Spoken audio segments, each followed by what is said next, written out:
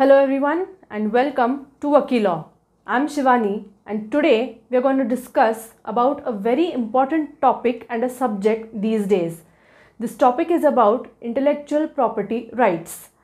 So in this video we shall be taking an overview of the concept of intellectual property rights where I'll be discussing about the background of intellectual property, its rights and at the same time we'll also be discussing about the meaning and definitions of intellectual property as well as intellectual property rights. So let's get started. Okay, so now let's begin with the basic concept of IPR or intellectual property rights. At some times I'll be referring intellectual property rights as IPR and intellectual property as IP. So as we all know that IPR is gaining immense importance in the last few decades. So we're getting exposed to different kinds of platforms in this changing world. So you know the um, ratio of demand for new concepts and the supply of new concepts is also at a balanced rate. We can say that easily.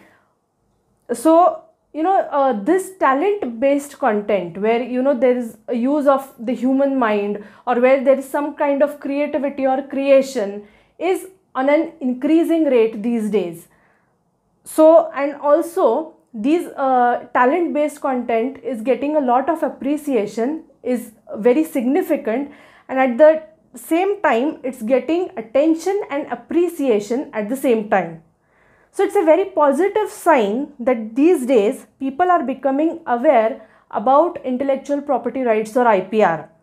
They are now understanding the role, the importance and significance of IPR and the awareness is increasing day by day. As I said that we are now getting exposed to different platforms and uh, where there is a lot of appreciation and there is an invitation to new talent. But the person who is an owner or the creator of such talent requires some kind of protection for the creation that he has made. So here the concept of IPR or intellectual property rights plays a key role. So now the main question arises, what is intellectual property?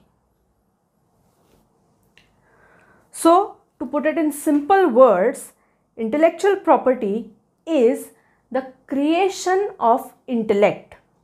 Here intellect refers to the human mind.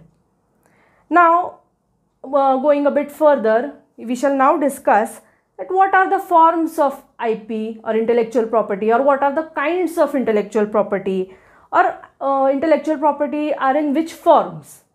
So basically uh, they can be in the form of research, they can be in the form of any kind of drawing or painting, they can be uh, in the form of a logo or a musical composition or an uh, invention or books or software or any mathematical formula many more. I've just illustrated a few of them. So it's important here to note that any forms, as I said, any forms or what we call as products. So, you know, as I said that books or uh, any musical composition or any drawing, painting, mathematical formula, etc. You can take any form of creation. So that can also be uh, called as a product or any type of intellectual property should be a one which is a creation of the human mind or is invented from the human mind. Okay, so now we all are uh, aware of what is the concept or basic backdrop of intellectual property. Now moving forward, we shall now discuss the meaning of or the definition of intellectual property Understand, I am now discussing the definition and meaning of intellectual property. Intellectual property rights definition I will be discussing in the later part of the video. So understand now what is intellectual property. So a simple definition meaning of intellectual property reads as an intangible property that is a result of creativity such as patents, copyrights, etc. Okay, so the meaning uh, basically comprises of the following important points. Listen to them very carefully. intellectual property is an intangible property. You can see on your screens that I have put up the points which define intellectual property. So first is intellectual property is an intangible property. Second point, such property is a result of creativity. Now what is creativity? That is an invention of the human mind which I have discussed earlier. Now here understand clearly that the property or product which is created with the invention or creation of the human mind is tangible. Now what is tangible? So that which can be seen or heard, touched or felt or sensed by the human body. But the right, the intellectual property right, which the owner of such intellectual property possesses against the whole world is intangible. Now what is intangible?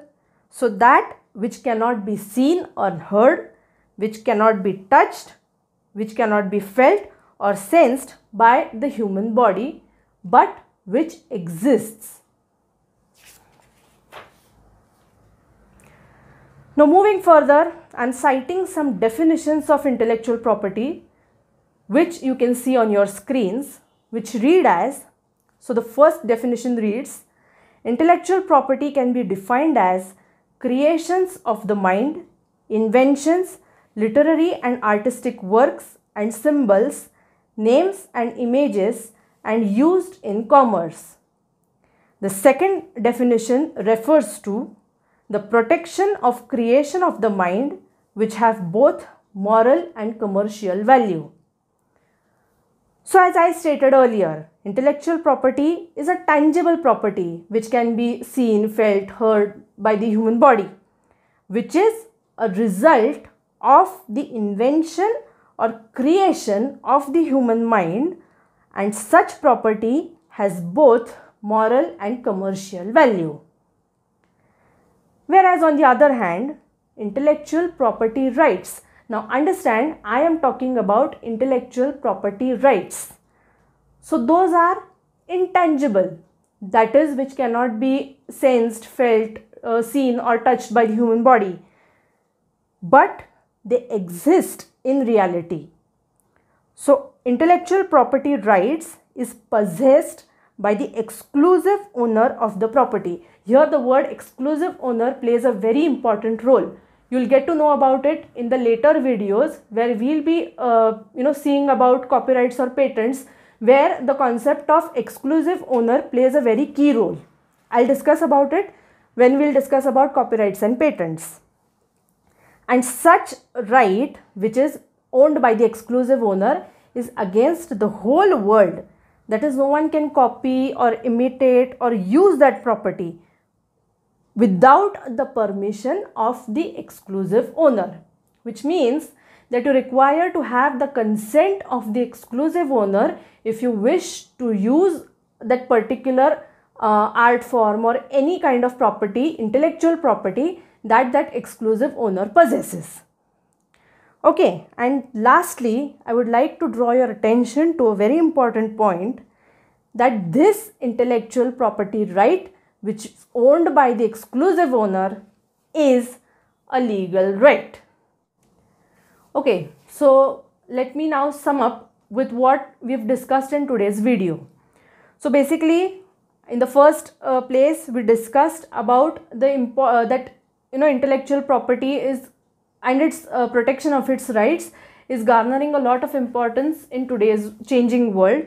So talent based content and protection of such content is now the need of the hour. Also, I discussed what is intellectual property. So basically, the very basic definition of intellectual property is an, in, an creation of the intellect and intellect is nothing but the human mind. So anything that is created by the intellect or by the human mind is nothing but intellectual property. So in the later part we saw the forms or types of uh, intellectual property so which were I cited a few of them, which was research, drawing or painting, logo, music composition, books, software, mathematical formula, inventions, etc. Then I also drew your attention to an important point where such forms or products should be the one which is a creation or an invention of the human mind. I discussed about this earlier. You can uh, rewind the video and check if you wish to once again. Later I discussed about the meaning and definition of intellectual property.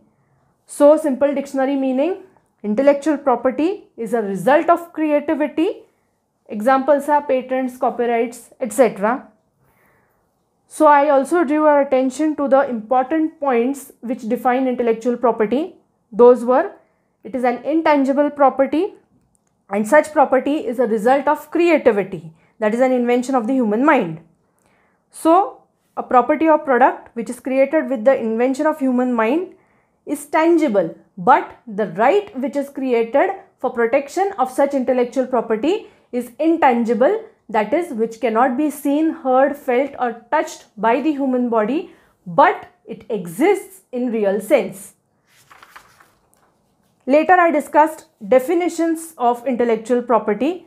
You can also check them in the uh, previous part of the video. So now in the upcoming video, I'll be discussing about intellectual property laws and the characteristics of intellectual property and intellectual property rights. So see you in the next video. Till then, this is me Shivani signing off. Goodbye and have a nice day.